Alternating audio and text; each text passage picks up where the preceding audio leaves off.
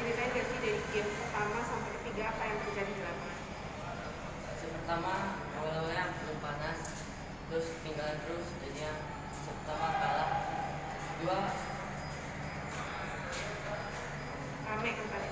Ya, agak rame mainnya, terus sampai susah juga.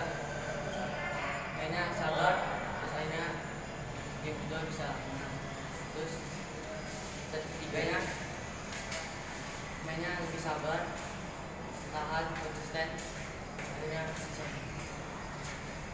Dari babak pertama sampai babak final ini pertandingan mana yang menurut kamu paling sulit? coba tiga dua kalau final? tiga dua bawa tiga dua juga. Set tiganya susah kalah juga.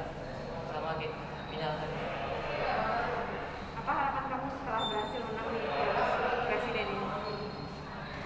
lebih konsisten juaranya bisa tahanin juara Target ke depan kamu apa tahun ini? bisa juara di semua pertandingan. Tadi game kedua eh, kan udah ketinggalan, terus pertandingan ketat sampai sampai 28.30 ya. Gimana itu eh, bisa membalikan keadaan? hanya tetap sabar Nah, percaya diri